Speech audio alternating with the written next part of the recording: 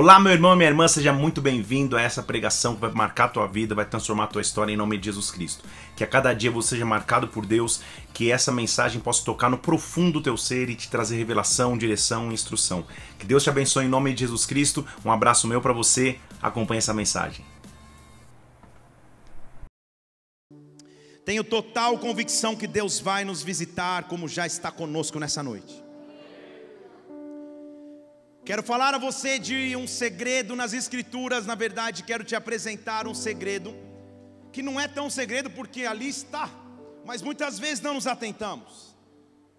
E tenho convicção que assim, ao assim mergulharmos e ao falarmos sobre segredo nas Escrituras, nossas vidas serão marcadas irreversivelmente nessa noite, pelo próprio poder e pela presença do Espírito Santo que já está conosco.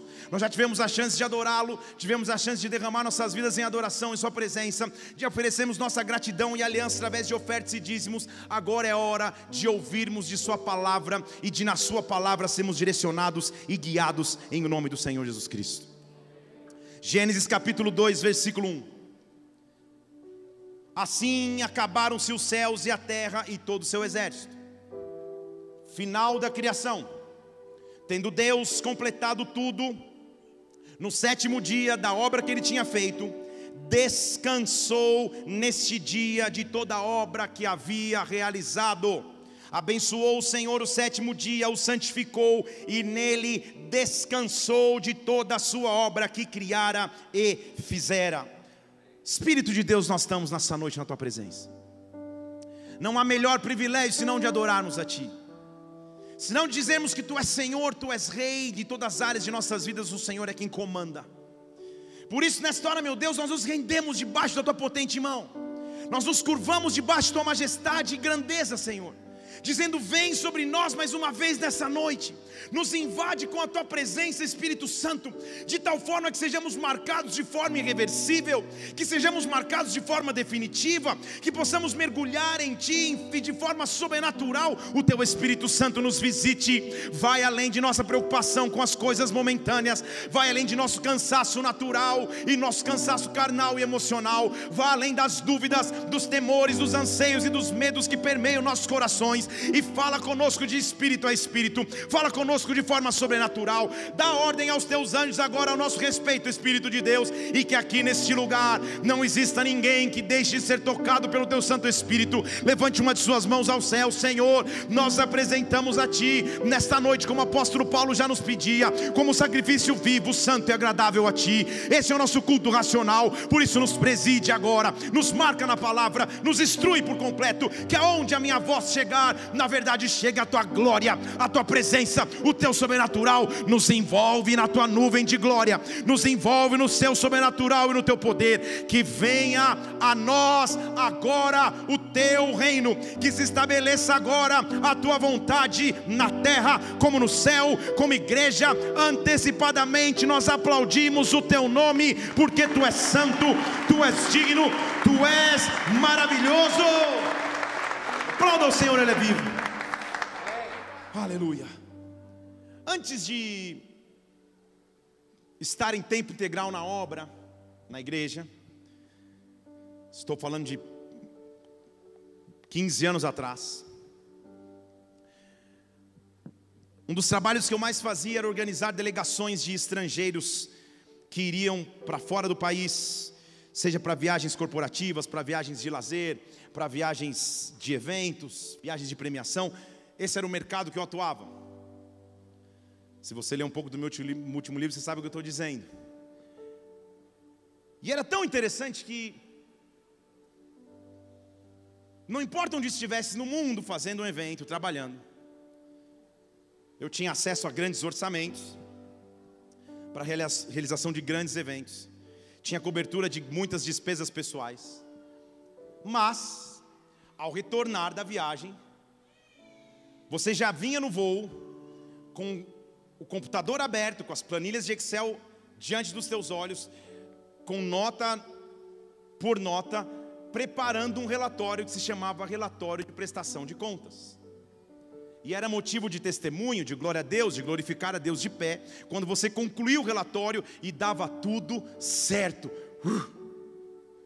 Porque relatórios assim tendem você falar, cara, onde foi parar esse, esse recurso? O que aconteceu? O que eu deixei de registrar? Prestação de contas é um negócio difícil. Quando as contas estão sendo acertadas, a realidade é mostrada. Não há como maquiar, não há como disfarçar, só tem como se trabalhar na realidade. Nós acabamos de ver que o Deus que é cheio de atividade ao criar a terra, e vamos combinar que para criar a terra tem, que se ter bastante atividade. Cria-se os mares, cria-se os seres estelares, cria-se o sol, cria a lua, cria o ser humano, cria os animais, cria a relva, cria as flores, as folhas, os frutos, cria-se tudo. É muito trabalho.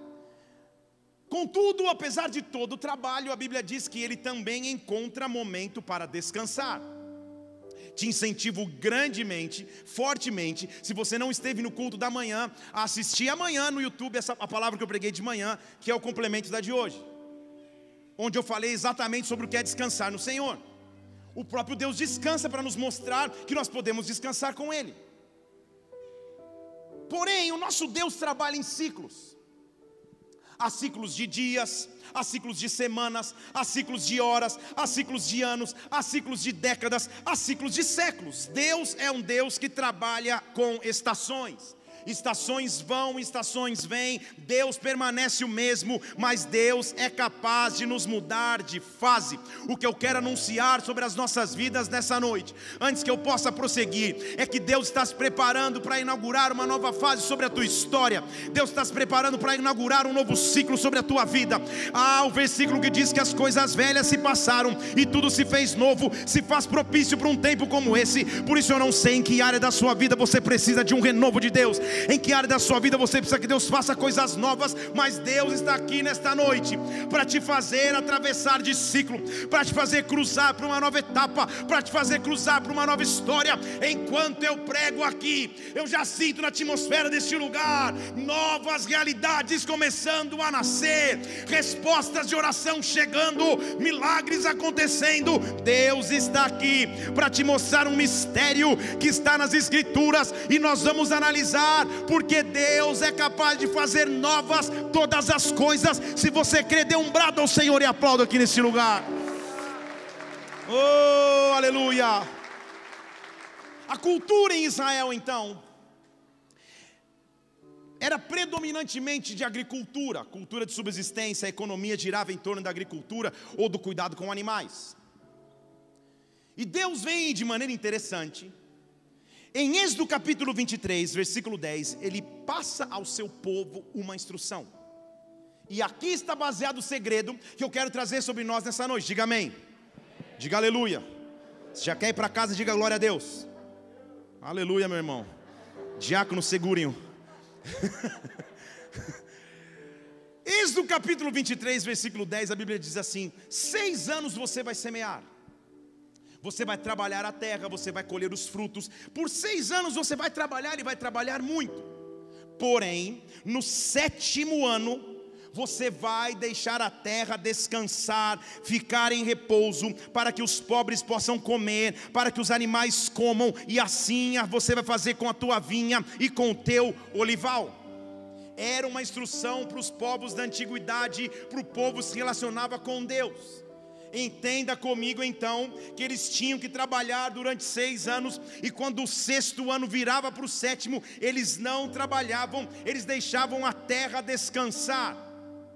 Há muitos significados nesse deixar a terra descansar. O primeiro é mostrar total confiança em Deus, porque você vai deixar de trabalhar, vai deixar de produzir. Deus teria que cuidar do sustento. Claro que há conceitos muito sábios de Deus nisso. Esse é um conceito, por exemplo, de sustentabilidade que nem se falava naquela época, nem se imaginava naquela época. Deus estava deixando a terra se renovar sozinha. Mas o que ele estava ensinando para o seu povo é que há um momento onde nós temos que descansar em Deus, porque um novo ciclo vai começar a palavra descanso desse texto, deixe a terra descansar, é sobre ela que eu quero falar na noite de hoje. É uma palavra que se chama Shemitah.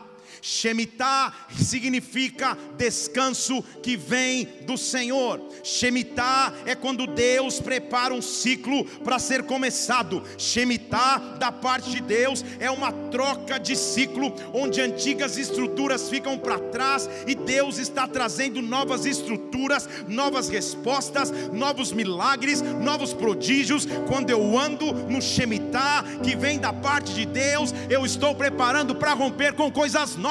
Eu estou dizendo e profetizando sobre as nossas vidas que o tempo do novo chegou, que o tempo do renovo chegou, que o tempo de uma nova glória chegou, que o tempo de uma nova provisão chegou, que o tempo de derramar de presença de Deus chegou. Se prepare, porque é tempo do Shemitah em Deus.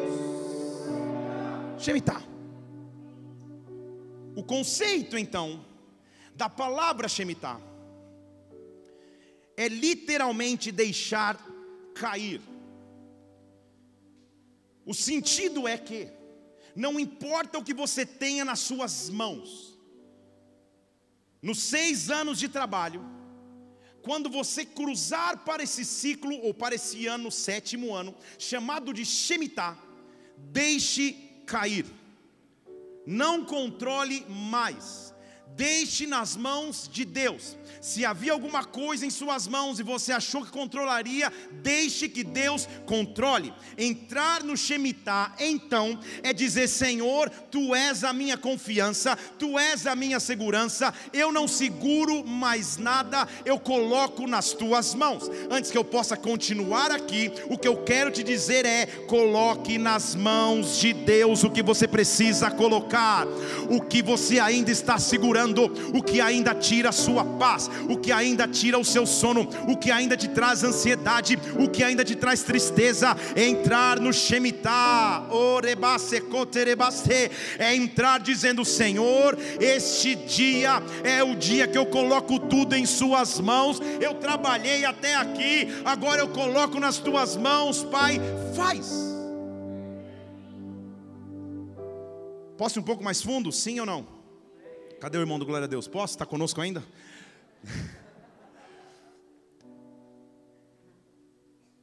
Há dois calendários sobre os quais eu quero falar. O calendário moderno que nos influencia, sobre o qual vivemos, é o calendário que chamamos de gregoriano, onde você encontra os meses, janeiro, fevereiro, março, abril, maio, junho, os, os meses com 30 dias, os com 31 dias. Esse é o calendário gregoriano. Sobre ele, grande parte da sociedade vive, a maioria das nações respeita esse calendário. Porém, para o povo judeu, o sistema de calendário de contagem de dias é diferente do nosso. Eles começam a contar os dias, baseado em Êxodo capítulo 12, quando eles vão fazer a travessia do Mar Vermelho, vão sair da escravidão egípcia, e Deus diz a eles: marque este dia como o princípio dos meses, o princípio dos dias. É diferente do calendário que nós seguimos, o calendário judaico trabalha de outra forma. Diga amém. Estou explicando a teoria para você entender. Por que, que eu estou falando de Shemitah?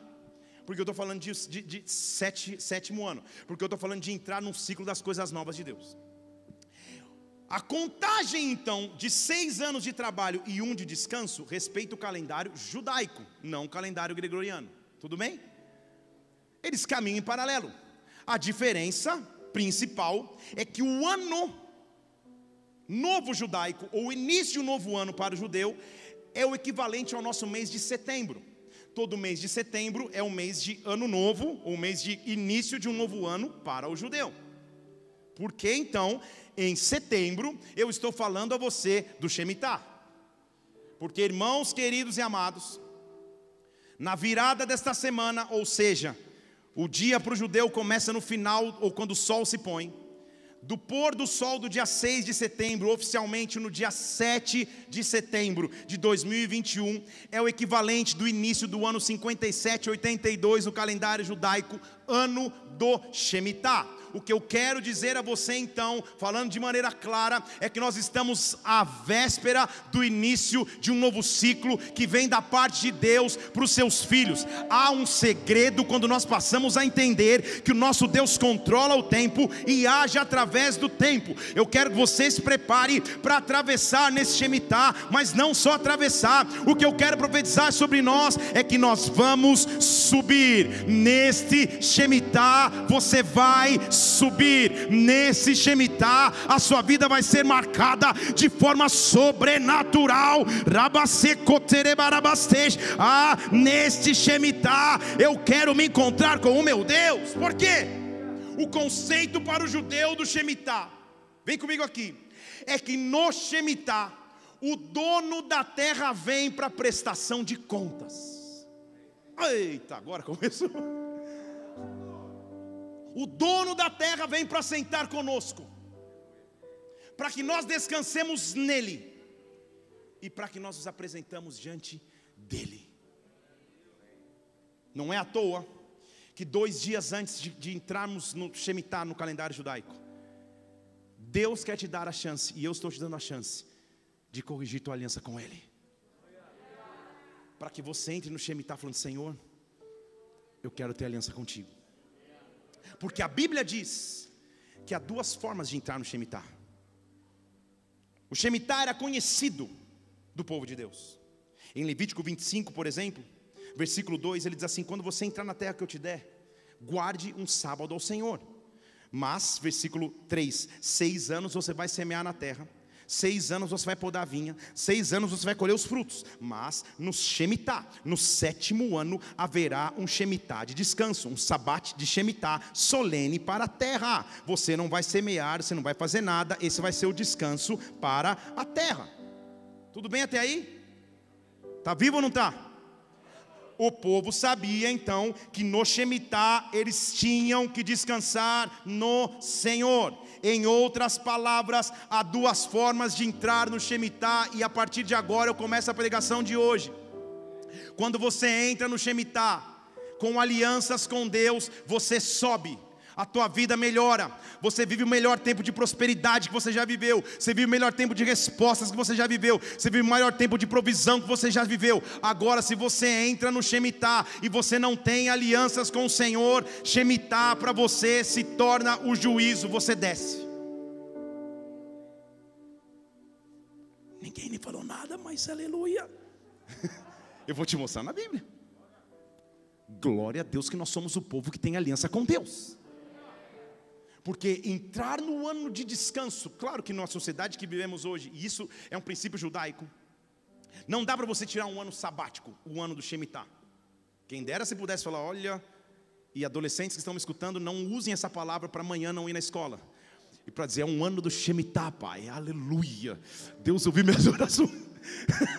o descanso que eu estou dizendo a você, é um descanso espiritual, é entregar nas mãos de Deus é provar a Ele que você tem aliança com Ele. Entrar no Shemitah em aliança com Deus é a maior oportunidade que você tem de mostrar aonde está o teu coração, como anda a tua obediência, como anda a tua confiança, como anda a tua entrega. E historicamente, nós vamos chegar ainda aqui nisso na pregação. Historicamente, todos os anos que antecedem a entrada do Shemitah são anos de luta, são anos de dificuldade, são anos de instabilidade econômica, são anos de saúde confusa ou até pandemias, porque antes do Shemitah, tudo me força a não confiar em Deus, tudo me força a entrar no Shemitah preocupado, ansioso, temeroso, mas quando eu confio em Deus, é justamente no meio das lutas que eu entro no sétimo ano dizendo: Senhor, chegou a hora de descansar em Ti, dono da terra, pode descer, porque eu tenho aliança contigo. Ah, Shemitah, é nesse momento que o salmista diz: sonda o meu coração vê se há em mim algum caminho mau, me guia por um caminho eterno. Shemitah, para nós que cremos em Cristo, Shemitah, para nós que temos aliança com o Senhor, é um ano de alegria, porque o meu mestre vai se encontrar comigo, a minha vida vai melhorar, as respostas de Deus vão chegar. Shemitah, eu aguardo para descansar no meu Deus. A raiz, pode aplaudir o Senhor, você começou.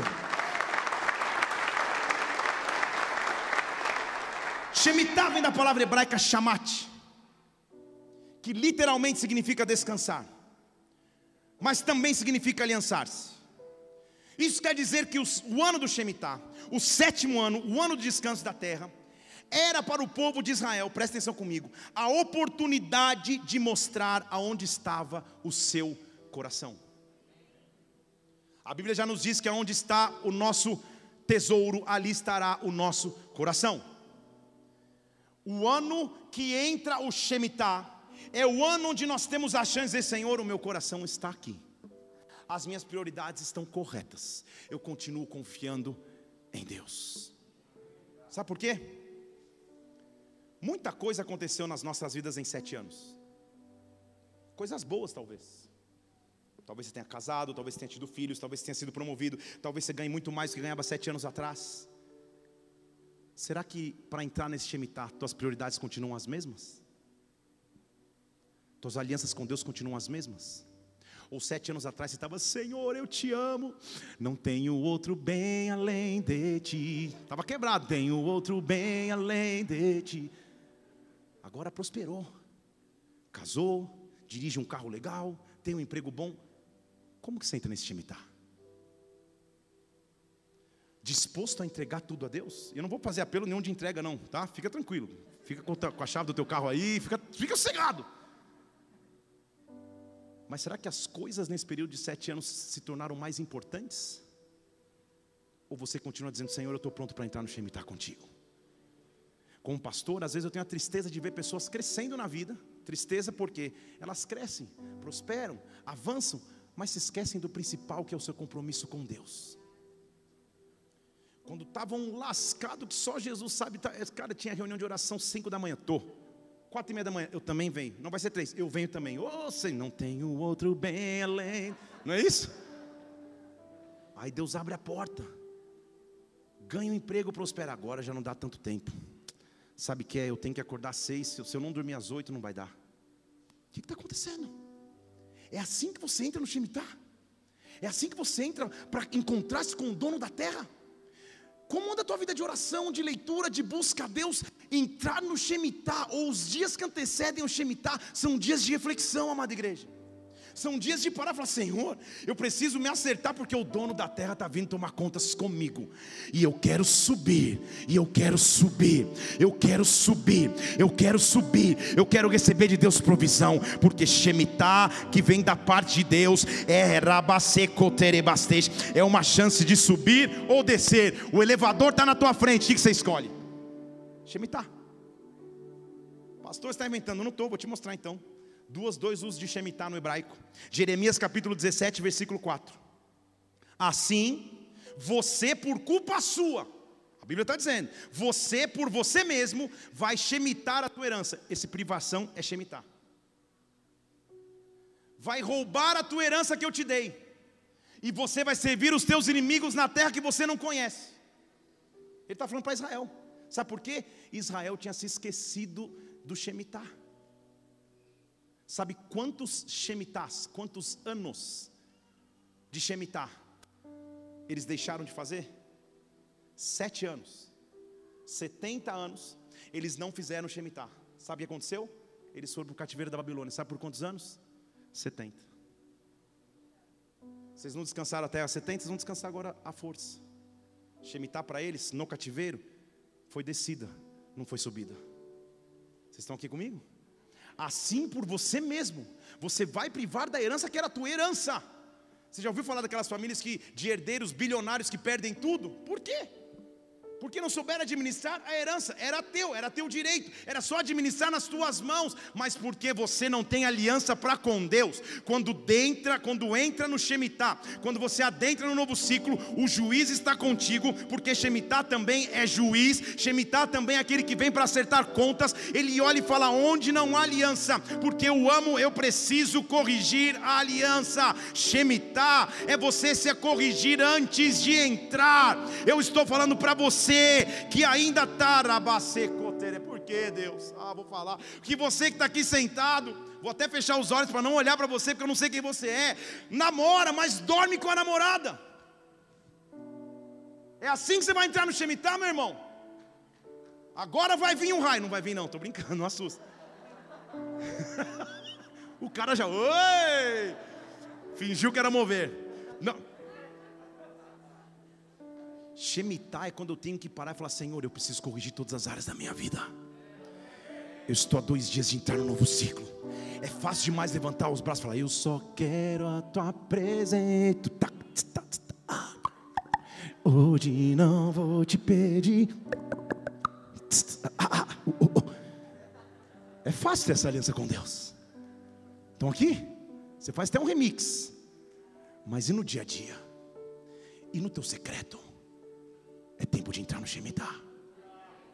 E eu não quero estar entre aqueles que vai estar descrito em Jeremias 17:4, que eu vou, eu mesmo vou me privar da herança que Deus me deu. Deus me deu a herança e eu não vou culpar o inimigo não. Ah, Satanás me roubou. Ah, é, malandrão, ah, é, fanfarrão. É você que não tinha aliança com Deus e entregou nas mãos do inimigo, mas Deus está levantando uma geração que com ele tem aliança, que com ele tem aliança. Ele está nos chamando para subir. Shemitah é hora de subir na presença de Deus. Escute o que eu estou dizendo. Chegou a hora de você viver os melhores dias da sua vida, os melhores milagres que você já experimentou, os maiores testemunhos que você já deu, porque é hora de entrar no É hora de que Deus vai trazer a você o perdão de dívidas, Deus vai trazer a você a resposta que você pediu. Eu só quero a tua presença. Hoje eu não vou te pedir nada, eu só quero levantar a minha voz e dizer que a tua graça me basta fiz agora essa letra. É assim que eu entro no Shemitah. É assim que eu entro nesse ciclo. Não é acaso que Deus está nos preparando para entrar.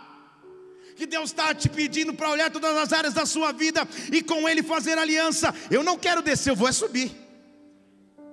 É só vitória, eu só estou subindo. Deuteronômio capítulo 15 diz assim: quando acabarem sete anos, faça a remissão. É isso que acontecia no final do ano do Shemitah. Eles passavam um ano descansando na presença de Deus. E no último dia acontecia o dia do Shemitah, remissão. Mais tecnicamente é o, é o dia 29 do mês chamado Elu em hebraico. O último dia desse mês era o dia de remissão. Este é a remissão que vai acontecer, versículo 2. Esta é a remissão. Remissão aí é Shemitah subir.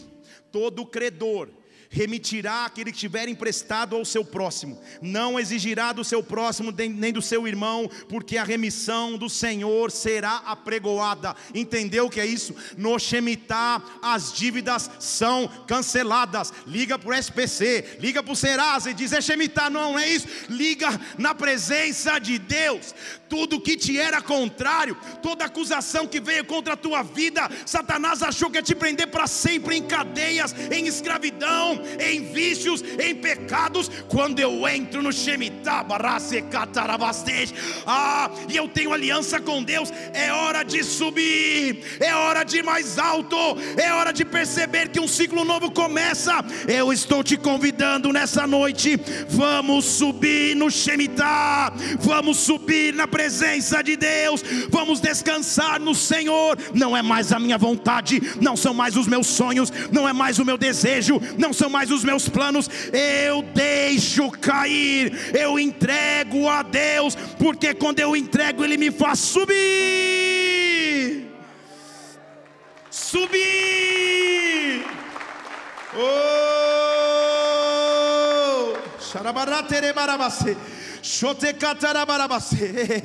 Olha o que ele está dizendo, Isaías 58, versículo 13: Se você desviar do sábado do teu pé, se você deixar de se envolver nas tuas empresas no meu santo dia, se ao sábado chamares de dia de deleite, santo dia do Senhor, digno de honra, se você honrar esse dia, não seguir os seus próprios caminhos, não se ocupar nas tuas empresas, não falar coisas vãs, não perder tempo, então você vai subir, você vai se deleitar no Senhor, e eu te farei cavalgar sobre as alturas da terra. Percebe comigo que é muito mais do que você separar um dia da semana e falar, ah, não vou trabalhar nesse dia. Não é isso, é uma atitude espiritual de aliança para com Deus.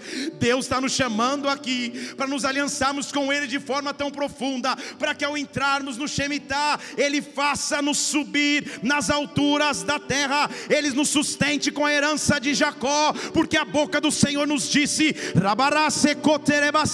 Ah, é hora de atravessar para o Shemitah, é hora de entrar num novo nível da presença de Deus. Levante suas mãos aos céus, se prepare para atravessar. Shemitah é uma porta que deixa as coisas velhas para trás e que faz tudo novo nas nossas vidas. Eu estou profetizando aqui que coisas novas vêm, que bênçãos sobrenaturais vêm. Abra os teus lábios agora e diz com quem você tem aliança. Abra os teus lábios agora e se acerta com o dono da terra, porque ele está vindo. Ele está vindo para prestação de contas, mas quando ele encontra um povo que tem aliança, ele me dá de sua herança e eu subo para lugares altos na terra. Eu estou profetizando a você que os próximos anos da sua vida serão os melhores anos. As lutas vão ter feito sentido. Arabacê, catarabacê. As dificuldades vão ter feito sentido. As pressões vão ter feito sentido. Para para pensar. Se nos últimos seis meses da tua vida, pelo menos, você não passou lutas gigantescas. Para para pensar. É, tem um que gritou, é, do fundo mesmo. É. E é mesmo. Nos últimos seis, oito meses, se eu for enumerar as lutas que eu vivi, eu falei, Jesus amado. Minha esposa fez uma cirurgia, meu pai faleceu, minha avó faleceu, meu cabelo não caiu, já tinha caído antes, tudo, as lutas, lutas profundas, que querem nos fazer chegar no ciclo antes do Shemitah, murmurando ao invés de confiando. É na hora da maior luta e dificuldade que você diz: Senhor, eu vou entrar no teu descanso, porque quando eu descanso, o Senhor trabalha em favor daqueles que em ti confiam. Quando eu descanso, o Senhor cuida de mim. Quando eu descanso, o Senhor se move. Deus vai começar a se mover sobre a tua vida. Talvez hoje você está entendendo por que tanta dificuldade, por que tanta luta na família, por que tanta divisão na tua casa, por que tanta opressão na tua alma, por que tanta tristeza você tem lutado nesse último ciclo. Ah, Satanás estava tentando te pressionar para que você perdesse a entrada de um ciclo de descanso e continuasse agitado nas tuas preocupações, mas nessa noite, suba, se prepare para subir, suba, se prepara para adorar, suba. Oh, minha vida pode ter melhorado em sete anos, mas nenhuma distração me rouba de entrar na presença dEle. Há uma presença de Deus preparada para nós hoje. Como você está se preparando para o próximo ciclo de sete anos? Shemitah, quando você estuda a história, toca e abala especificamente três áreas de influência na sociedade. Quando o ano do Shemitah acontece, nós vemos abalos no governo, nas finanças e na vida espiritual. Deixa eu falar de novo. Quando o ano do Shemitah acontece, nós vemos o governo ser abalado, as finanças serem abaladas e a vida espiritual ser transformada para melhor, se você tem aliança com Deus. Vou te dar um exemplo. Posso ir um pouco fundo para te dar dados aqui? Tem tempo ou não? Aleluia. O irmão do Glória a Deus, está tá junto? 1930 e 31 foi um ano de Shemitah. Lá em 1930 e 31, houve um grande acontecimento mundial chamado de Grande Depressão, que na verdade iniciou-se em 1929. Se avolumou e se aprofundou em 1930 e 31. Foi uma crise gigantesca financeira que abalou a humanidade como nunca antes havia acontecido nos tempos modernos. Em 1973, o Shemitah foi de 72 a 73. Houve uma explosão mundial no petróleo, a inflação americana pela primeira vez perdeu o controle. E também foi o ano em que os Estados Unidos voltou derrotado da, primeira, da, primeira, da guerra no Vietnã, em 15 de janeiro de 1973, ano do Shemitah. Vocês estão aqui comigo ou não? Estou te mostrando na história como Deus age. Vamos pular alguns, que não dá tempo de falar todos. No ano de 2000 e 2001, Shemitah. Nesse ano aconteceu uma gigantesca recessão econômica internacional, estuda depois os dados. Culminando com, em 2001, no dia 11 de setembro de 2001, a queda das Torres Gêmeas nos Estados Unidos, ano do Shemitah. Abalo no governo, abalo na economia, Transformação espiritual na sociedade. Ano de 2007, 2008, ano do Shemitah. Você já entendeu comigo que ele começa de setembro a setembro. Então, setembro de 2007 a setembro de 2008, ano do Shemitah. Sabe o que aconteceu nesse ano? Bolha imobiliária nos Estados Unidos. A Dow Jones caiu 777 pontos. 777 pontos no ano do Shemitah, uma das maiores quedas na história da bolsa dos Estados Unidos, 700 bi de dólares de prejuízo, ano do Shemitah. Vocês estão comigo aqui ou não?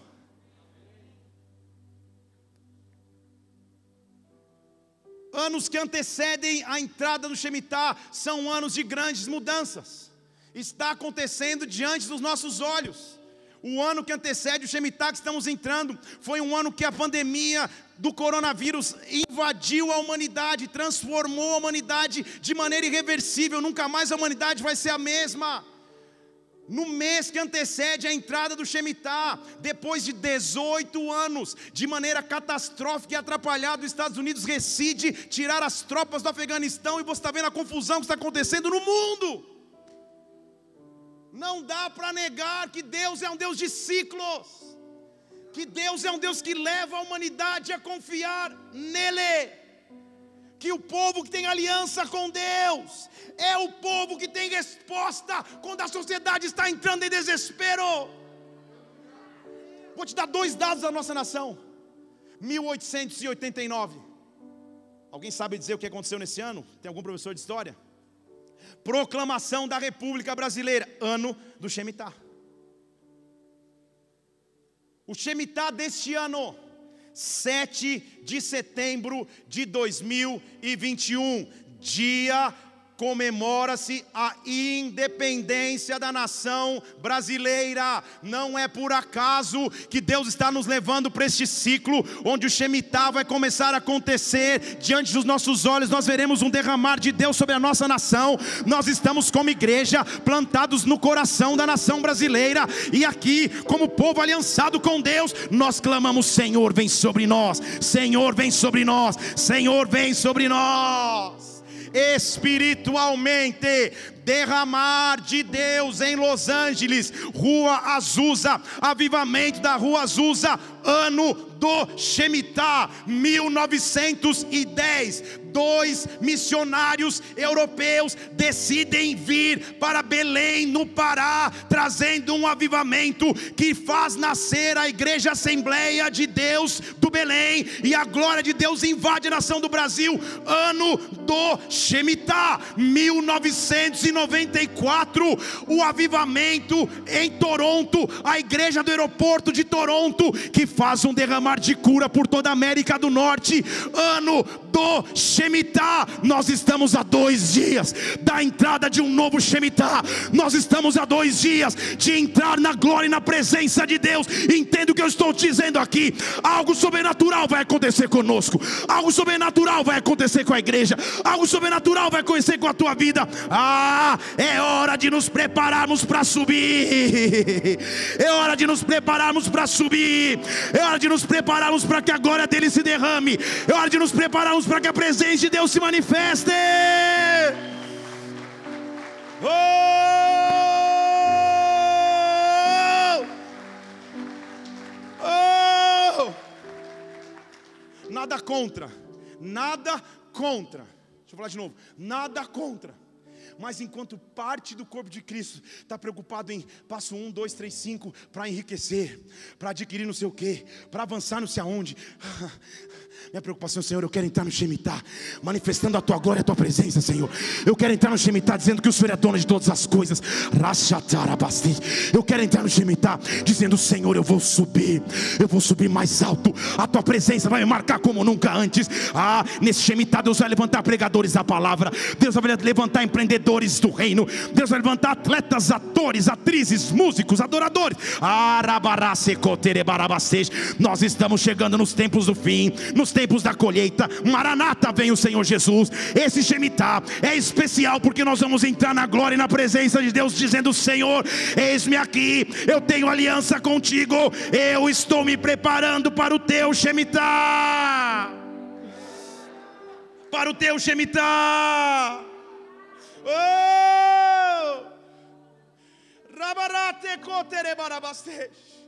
Como você está preparado para entrar nesse novo ciclo? Com quem você vai expressar aliança? Deus está te dando a chance ah, de limpar a tua vida, tuas atitudes, comportamentos. Deus está te dando a chance de mostrar tua confiança nele. Deus está te dando a chance de mostrar tua segurança nele.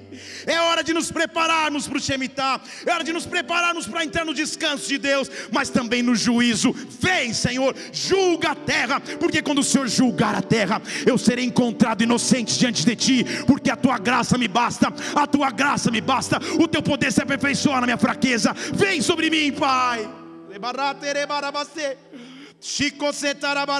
7 de setembro de 2021. Nós vamos entrar no novo ciclo. Vocês estão comigo aqui? Nós vamos entrar no novo ciclo. Deus vai romper áreas da tua vida que até então estavam paralisadas. Oh! É hora de ir para o. É hora de subir. Quero me encaminhar para o final te mostrando quem é o nosso Shemitah. Estão aqui comigo? O salmista tem uma, o salmista não, perdão, o profeta tem uma revelação que não coincidentemente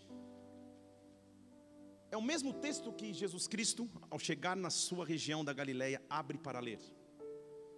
E ele diz assim, Isaías 61, versículo 1 o Espírito do Senhor está sobre mim.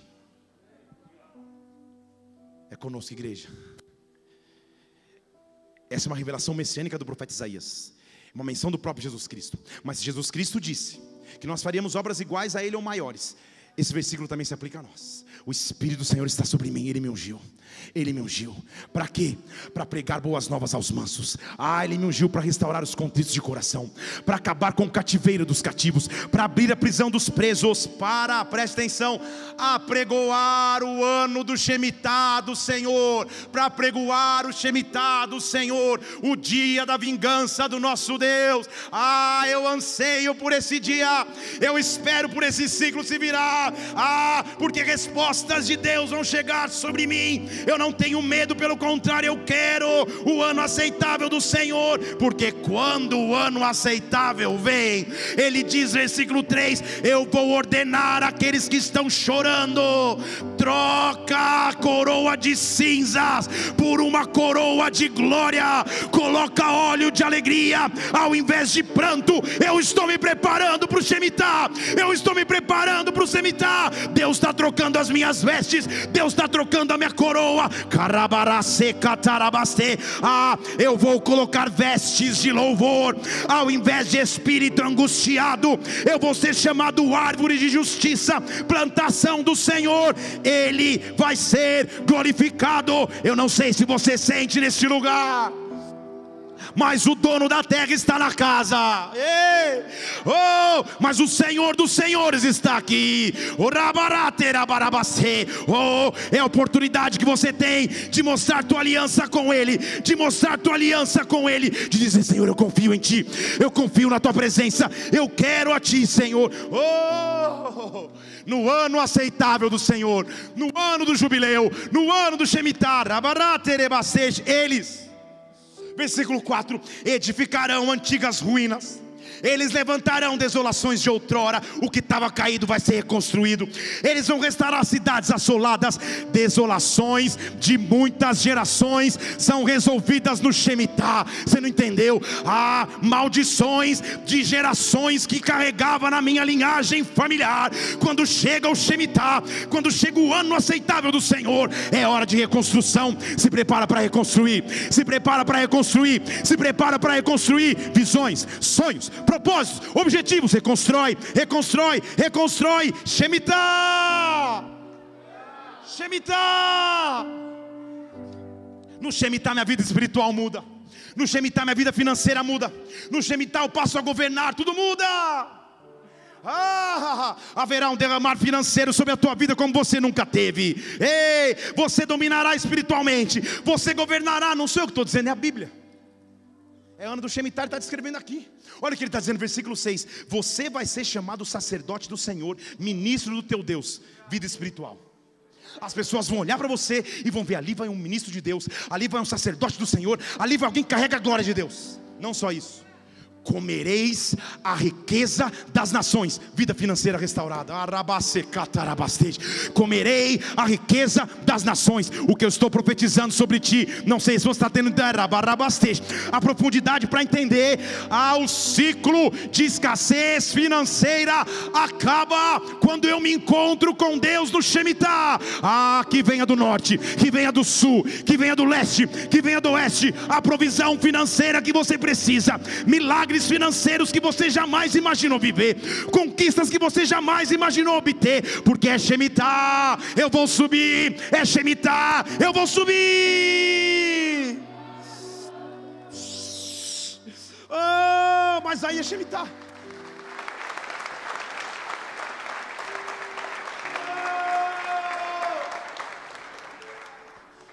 Mas esses últimos seis anos foram pelo amor de Cristo. Esse último ano, então, Jesus amado. Esses últimos meses, então, só o sangue de Jesus. Senhor, eu não sei o que está acontecendo com a minha vida. Parece que eu estou no meio de um furacão. Eu estou me preparando para chegar no Shemitah.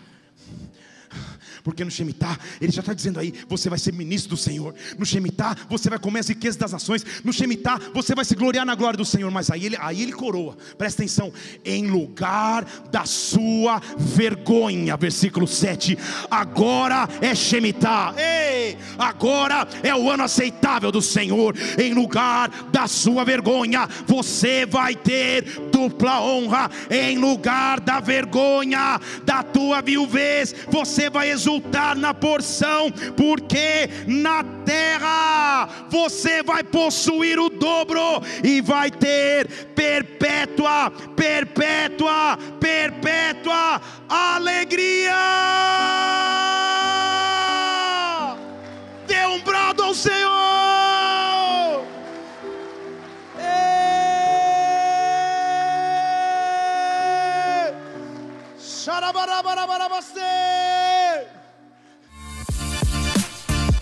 Espero que através dessa mensagem você tenha sido marcado profundamente pelo Espírito Santo, sua vida seja impactada e transformada, viu? Tem muitas outras pregações aqui no YouTube, Felipe Parente. Faz o seguinte, inscreve-se no canal também para que você sempre receba os alertas das pregações assim que elas acontecerem. Que Deus te abençoe. Até a próxima. Fica na paz do Senhor.